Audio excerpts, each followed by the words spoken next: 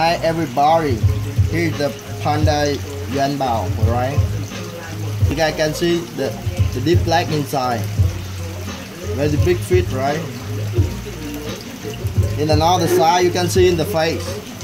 Have a, some little gold over here. And over here also, a very nice fish, very big.